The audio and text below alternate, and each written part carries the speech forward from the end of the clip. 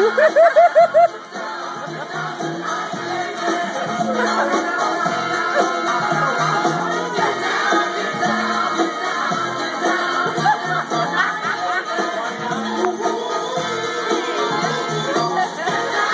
got Frack Daddy right now dancing.